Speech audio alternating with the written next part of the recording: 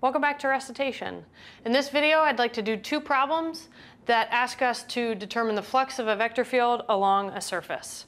So the first one is I'd like you to find the outward flux of the vector z, comma x, comma y through the piece of the cylinder that's shown. So it's just shading the cylindrical part. So it's a cylinder of radius a, and you're taking the piece in the first octant up to height h. So that's the first question I'd like you to answer is the flux of this vector field through that piece of the cylinder, the outward flux.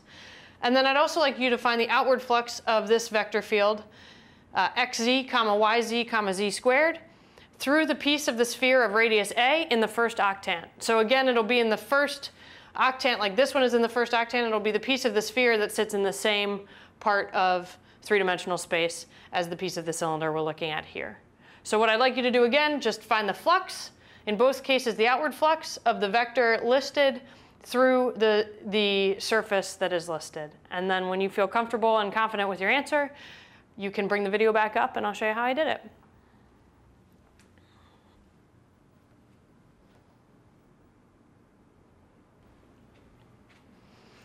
Okay, welcome back. So again, what we're trying to do is determine flux of a vector field through a surface.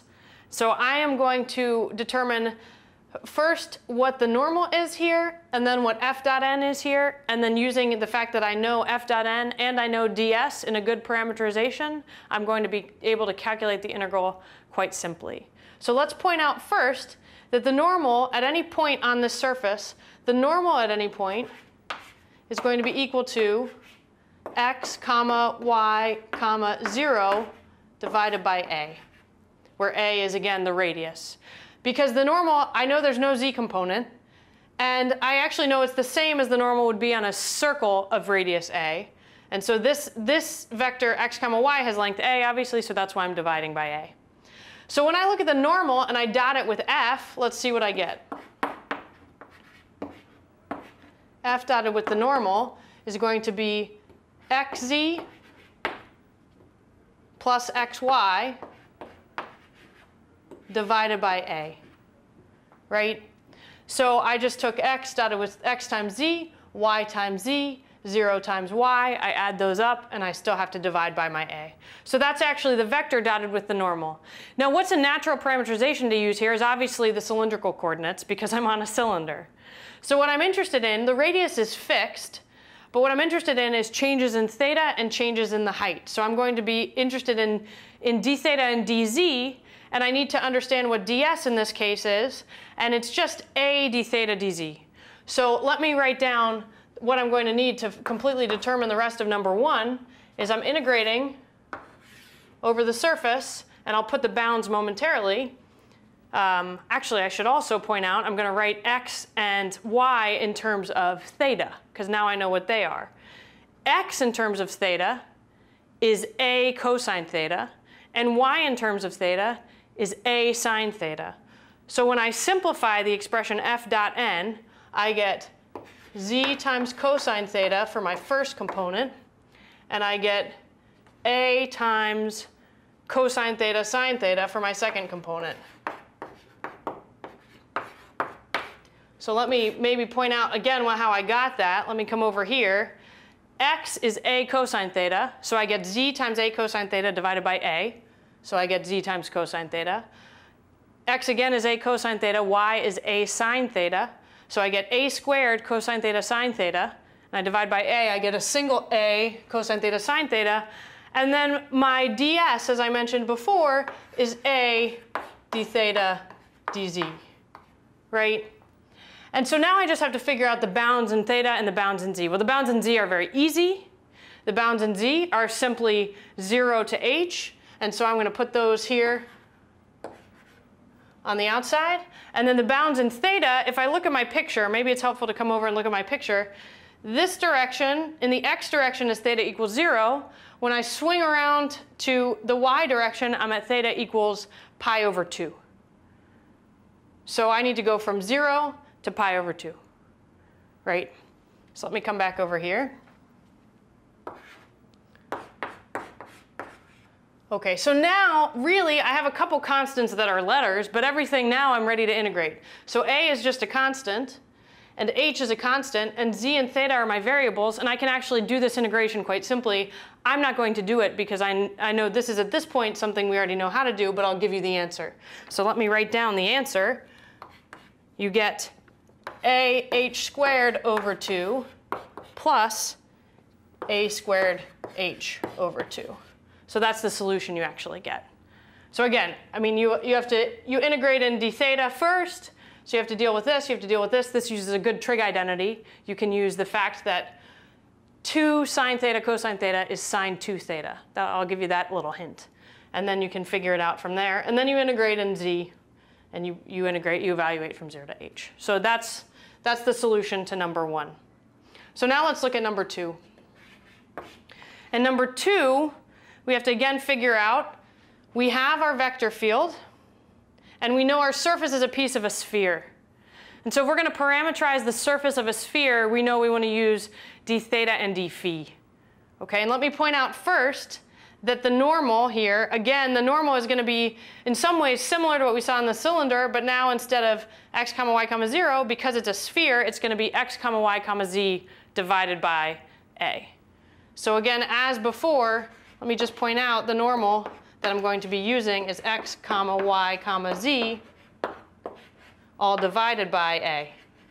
So I'm going to dot f with n and look at the surface integral with, with respect to ds, capital D capital S there, and I'll see what I get. So again, I know how I'm going to parameterize the sphere. I already mentioned it, but let me say it again. It's going to be in theta and z, uh, sorry, theta and d and phi, right? Because we have a constant radius. We're on a sphere of radius a, so I don't need to change rho. It's a, it's a two-dimensional thing. So theta is varying and phi is varying. So let's see what we get first. Let me do a little work and see what we get when we get look at f dotted with n.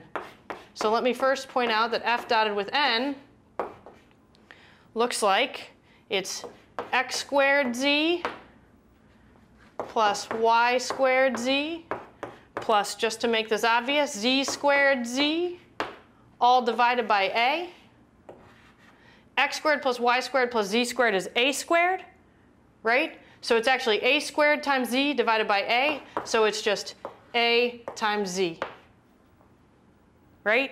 So, so far all I did was I dotted f with the normal, and I knew the fact that x squared plus y squared plus z squared was a squared because I was on a sphere of radius a.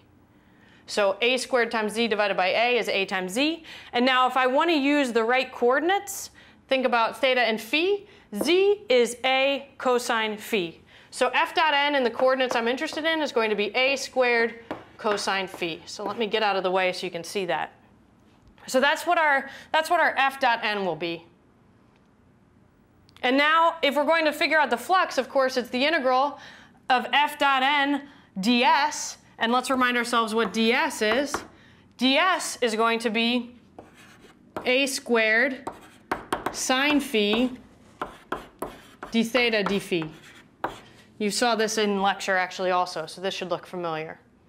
And so now I just have to integrate f dot n ds over the right components, over the right bounds for theta and phi. So let's determine what those are. I'll put everything together and we'll determine what those are. So I've got f dot n ds. That's going to be a to the fourth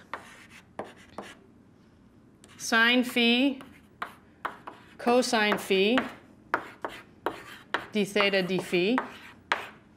And let's think about what is the picture that I need in terms of the first octant of a sphere. Maybe I should draw a quick picture over here so we can remember what that looks like. So it's going to be, this is not going to be the greatest drawing ever, but it's something like this. And so I've got circles coming, sort of pieces of a circle at each level. I've got a piece of a circle right? So theta, if this is the x direction, this is the y direction, this is the z direction, theta is going from 0 again to pi over 2, and phi is going from 0 to pi over 2, right? So they're both going from 0 to pi over 2. So hopefully you were able to get this far, at least in the calculation, or in terms of figuring out the flux of F through that piece of the surface, piece of the sphere. And I'm just, again, going to write down the solution, and then you can check your, your answer against the solution. And I got a to the fourth over 4 times pi. So this whole solution is a to the fourth divided by 4 times pi. So you can check your solution there. Again, I want to point out what we did in both of these problems is we were trying to compute the flux of a certain vector field through a surface. And if you'll notice, what I actually did in, in this case is I kept the parameterization in terms of x, y, and z, or I kept it in terms of the x, y, z variables first. And then I put it in the parameterization of theta and phi after. And that made it a little easier to hang on to and figure out what it was, because notice that x, y, and z become very complicated in theta and phi. I have to write a lot more down, I guess, and then simplify things more, careful, more carefully. This way it was very obvious that I got an a squared times z in the numerator. So sometimes it's a little easier to, to compute the f dot n in the initial x, y, z variables and then change it to the appropriate parameterization for the surface you're looking at. So that's what we did actually in both cases is we computed f dot n, we put it in the right parameterization, and then we had to figure out what ds was. We had to make sure we knew ds. And then we just had to integrate over the appropriate bounds for our parameters. And that's giving us the flux across the surface. So I think that's where I'll stop.